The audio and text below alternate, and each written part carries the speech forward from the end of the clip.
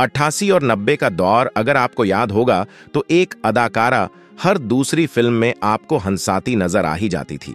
वह गुड्डी मारुति के नाम से हिंदी सिनेमा में मशहूर हुआ करती थी। मगर क्या आपको पता है, इस प्रसिद्ध कॉमेडियन ने कैसे खुद ही अपना सुपरहिट करियर डुबो लिया था? चलिए, हम गुड्डी के फ़िल्मों में आने और गुमनाम होने की पूरी दास्तां से आपको वाकिफ करवाते हैं। अस्सी और नब्बे का दौर। जॉनी लीवर और कादर खान जैसे महान हास्य कलाकारों का जमाना हुआ करता था, मगर एक अभिनेत्री इनको अकेले ही टक्कर देती थी। वो गुड्डी मारुति है।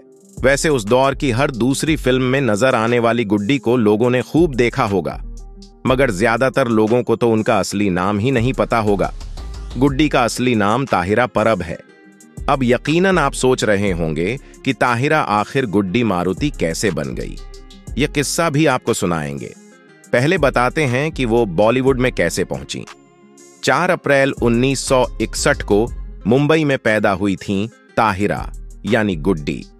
उनको सिनेमा में पहुँचने में दिक्कत नहीं हुई, क्योंकि उनके पिता खुद भी एक मशहूर हास्य अभिनेता और निर्देशक हुआ करते थे। उनका नाम मारुतिराव परब था। वो पुराने जमाने की कई फ़िल्मों में नज़र आए थे, जैसे 1955 में दरबार रियासत 1956 में दशहरा या 1965 में हम सब उस्ताद हैं, या फिर 1971 में कहीं और कहीं पार। जैसी फ़िल्मों में उन्होंने कनीज फातिमा से शादी की थी। वो भी एक जमाने में अभिनेत्री थीं और अदाकारा कमाल के नाम से अभिनय किया करती थीं।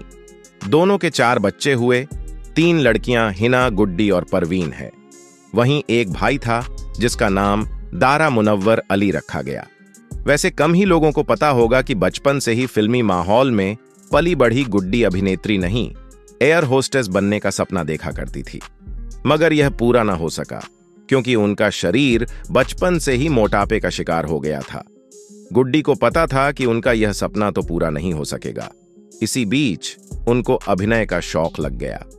अपने पिता को ही एक्टिंग करते देखती तो खुद भी सिनेमा में आने के सपने देखने लगी। वह दस साल की रही होंगी। एक दिन पिता से अभिनय की ख्वाहिश जताई तो पिता ने फ़ौरन हाँ कर दी। शुरू से ही गोल मटोल गुड्डी को फ़िल्म मिलते भी देर नहीं लगी। उन दिनों एक फ़िल्म बन रही थी, जान हाजिर है। उसमें एक गोल मटोल बाल कलाकार की ज़रूरत थी।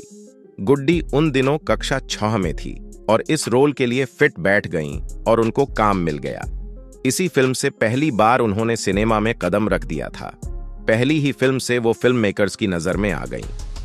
साल 1980 की बात है। विजय सदाना एक फ़िल्म बना रहे थे, सौ दिन सांस के। इस फ़िल्म में हीरोइन की सबसे खास सहेली का दमदार किरदार था, जिसके लिए किसी अदाकारा की तलाश थी। गुड्डी को यह बात पता लगी तो वो विजय से मिलने पहुँची। उनको यह किरदार फ़ौरन मिल गया। फ़िल्म में उन्होंने शोभा नाम की लड़की का रोल किया। जिसे बहुत पसंद किया गया, मगर अगले ही साल उनके ऊपर दुखों का पहाड़ टूट पड़ा। उनके पिता मारुति परब की अचानक मौत हो गई। सिर से पिता का साया उठ गया तो परिवार भी संकट में आ गया। शौकिया फ़िल्मों में आई गुड्डी के लिए तो अभिनय करना अब मजबूरी बन गया। परिवार को चलाने के लिए उन्होंने फ़िल्मों में काम करना जारी रखा।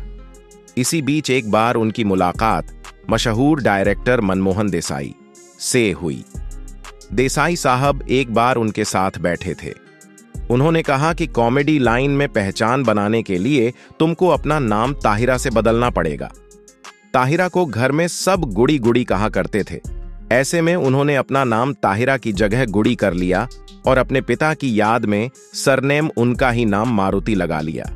इस तरह से हिंदी सिनेमा को महान अदाकारा गुड्डी मारुति मिली। वैसे गुड्डी की ख्वाहिश मुख्य अभिनेत्री बनने की थी, मगर शुरू से ही उनका शरीर बेडौल था। मोटापे की वजह से कभी किसी ने उनको हीरोइन का रोल ऑफ़र नहीं किया, लेकिन छोटे से छोटे रोल में भी गुड्डी कमाल करती रहीं। नब्बे का दौर तो मानो इन्हीं कॉमेडियन का हो चला था। डायरेक्टर उनके मोटापे को देखते हुए ही फ़िल्मों में उनके रोल रखा करते थे, गुड्डी मारुति ने छोटे सरकार, शोला और शबनम, दुलारा शीशा, एक के बाद एक का प्यार।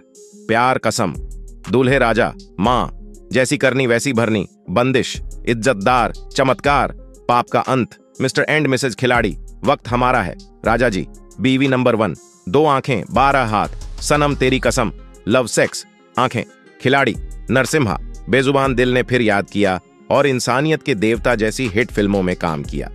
एक समय तो ऐसा आया कि वो सबसे ज़्यादा फ़ीस लेने वाले हास्य कलाकारों की लिस्ट में आ गई थी।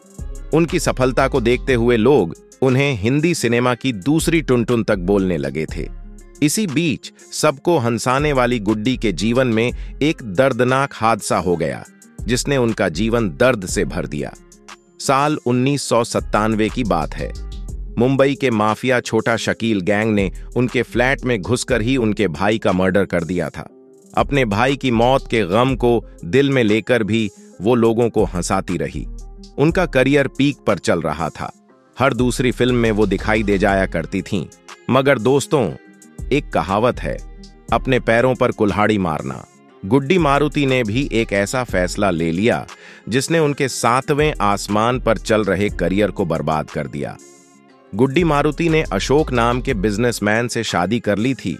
साल 2004 में अचानक उन्होंने हिंदी सिनेमा से ब्रेक लेने का चौंकाने वाला फैसला कर लिया। उनके इस निर्णय से फ़िल्म मेकर्स ही नहीं, उनके चाहने वाले तक हैरान हो गए थे। करीब 10 साल तक वो फिल्मी दुनिया से गायब रहीं। फिर अचानक 10 साल बाद उन्होंने दोबारा बॉलीवुड का रुख करने का फैसला किया। मगर उनका कड़वे सच से सामना हुआ। लोग उनको भुला चुके थे। उन्होंने बहुत कोशिश की, मगर फ़िल्म मेकर्स ने भी उनसे किनारा कर लिया। वीडियो को लाइक करें।